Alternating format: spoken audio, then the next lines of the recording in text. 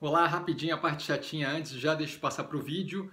Como disclaimer, para a galera prestar atenção, as opiniões que são exibidas aqui em todos os vídeos do canal refletem pura e simplesmente a minha opinião pessoal, tá? E a forma como eu invisto não são de qualquer forma, modo, em geral, indicação de compra ou venda de qualquer ativo do mercado financeiro, tá? E agora o vídeo. Olá, Cassiano Bittencourt, pelo Visão do Estrategista, hoje novamente para mais um IPO eu já tô, que é o pó da rabiola, então assim, quantidade de IPO, meu olho já não, não abre mais direito. Quantidade de IPO que está tendo na sequência sem noção. Tá? A gente tem ali a faixa indicativa na lateral, entre 7 alguma coisa e 9 alguma coisa, a captação em bem menor quantidade do que, bem menor valor monetário do que os outros, né, que a gente viu anteriormente, é 198 milhões para primária e 351 milhões para secundária, que é basicamente a saída de um fundo Tá? O Brasil, sustentabilidade, a gente vai comentar isso mais para frente, não vejo como problemático. Ah, o período de reserva vai até dia 27 do 4, então ainda temos aí um período, um pedido para um, um, período aí para poder tomar decisão. Tá? De qualquer forma, o IPO é o IPO mais positivo, no meu ver, na minha visão, que a gente teve durante essa segunda leva de IPOs desse ano. Tá? A empresa, fundada em 1971, então com algum tempo aí de operação, ela é, trabalha na, na, no setor de produção de fertilizantes especiais defensivos biológicos, tá? É um setor que vem crescendo continuamente, como a gente pode ver na tela. Só para dar uma cor, né, que é um setor que não é dos mais conhecidos e populares do, do mundo, tá? É, eu tenho acompanhado o setor é, e tenho escutado podcast e, e por aí vai, tá? É, inclusive, é, aquela parte ali de defensivo biológico que está virando uma tendência bem forte, tá? Onde você tem é, fungo, bactéria, vírus sendo usado justamente ao invés de usar agrotóxico químico, agrotóxico, ou, é, como, como você preferir chamar, né, mas defensivo químico, é, acho que isso é super positivo, tá? é fortemente vinculado ao setor agro, então é um setor que é resiliente, então acaba ajudando aí justamente uma diversificação de portfólio. Tá?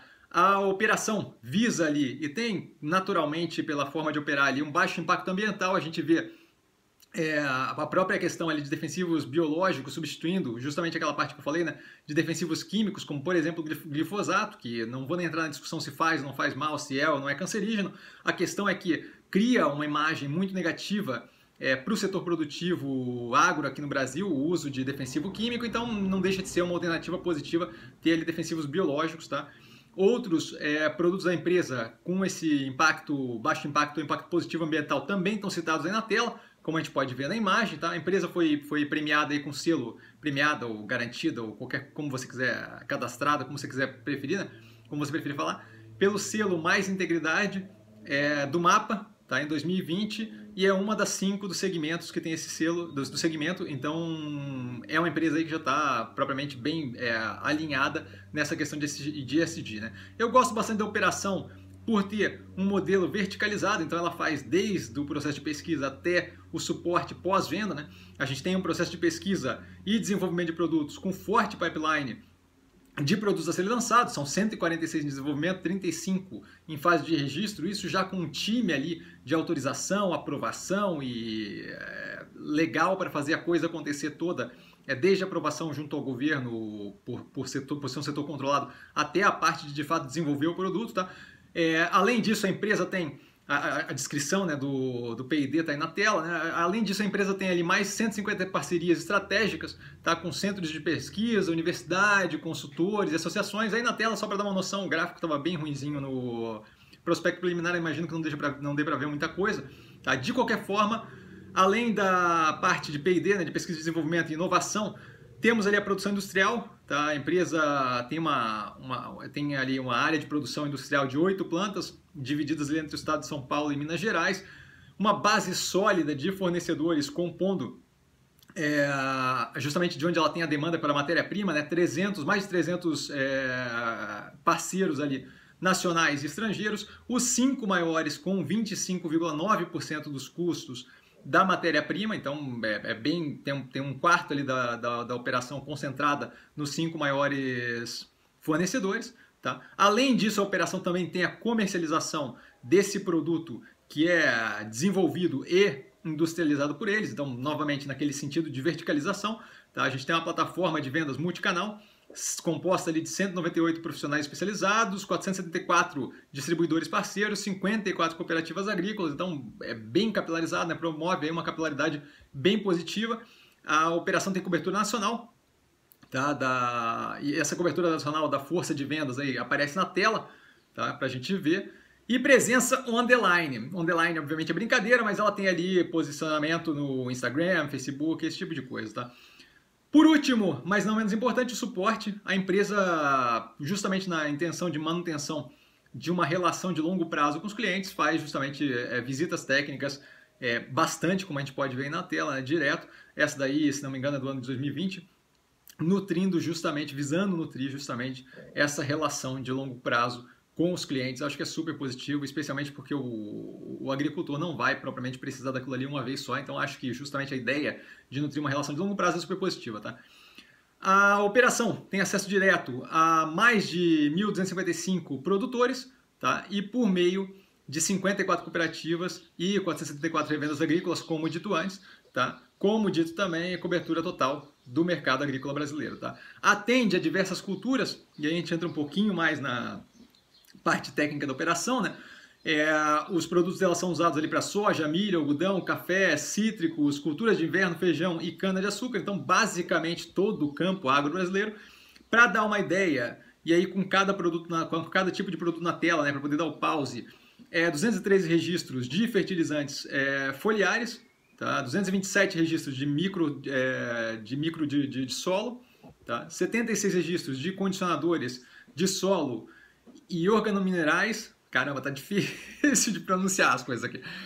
É, 39 registros de inoculantes, 25 registros de defensivos, biológicos aprovados para controle das principais pagas e doenças que causam dano econômico para agro, o agronegócio. Isso daí, 42 alvos biológicos aprovados pelo mapa, então tudo de acordo com as regulamentações e por aí vai, tá? É a segunda no Brasil por número de registros e é a primeira por alvos biológicos é, quando a gente fala de operações que, que trabalham justamente produzindo né, é, é, defensores biológicos e fertilizantes e, e, e, por aí vai, né, aprovados pelo mapa ali. A abertura da operação na tela para dar um pouco mais de cor aí, por mix da receita, por categoria de produto, por é, esse mesmo mix, né, mas por cultura atendida, né, soja, milho e por aí vai. A abertura geográfica também na tela. Isso tudo para dar só uma noção geral da operação Daí a gente passa para um due diligence que mostra uma operação muito alinhada. Então, assim, não só é interessante o setor que ela opera, com grande potencial de crescimento, mas a gente vê ali é, uma operação que tem uma receita líquida com um crescimento consistente, tirando ali 18, 19, né? Que a gente vê uma queda pequena, tá? E que ainda assim, de qualquer forma, viu ganho em rentabilidade e ganho em margem operacional.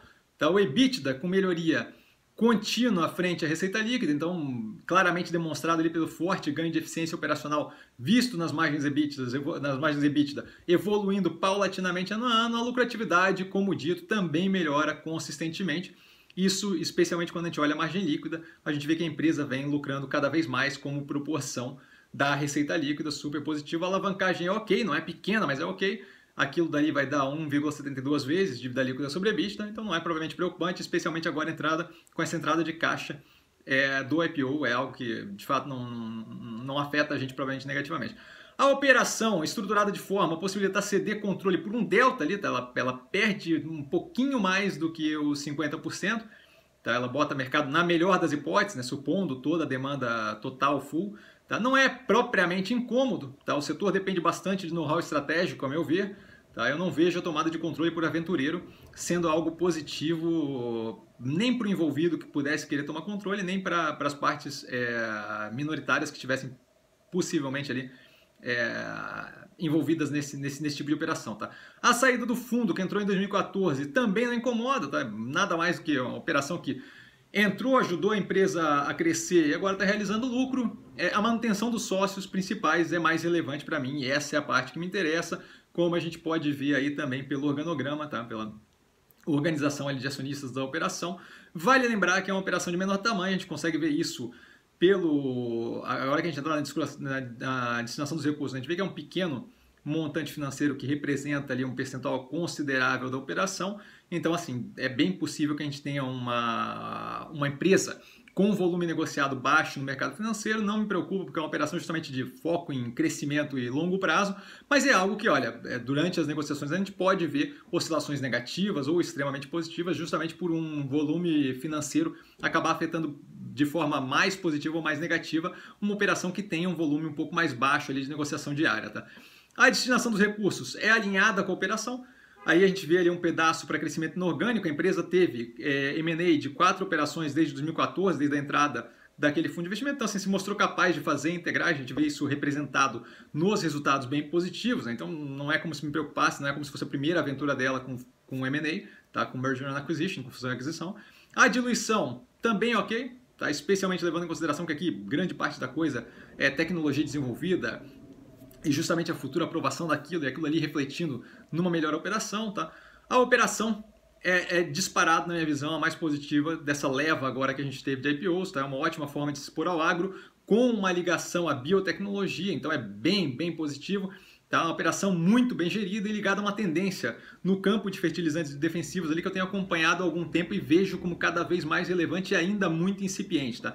Longo prazo eu vejo como muito, muito positivo, muito brilhante basicamente é um no-brainer, eu não vejo por que não ter esse tipo de ativo na carteira nesse momento, tá? Eu vou participar da, da operação, vou entrar é, com, com, uma posição é, possivelmente maior do que as anteriores ali que eu analisei, né? Tanto a modal quanto a Boa Safra, aqui também é uma boa operação, então não sei ainda se, se vai ser muito maior aqui essa, essa alocação aqui.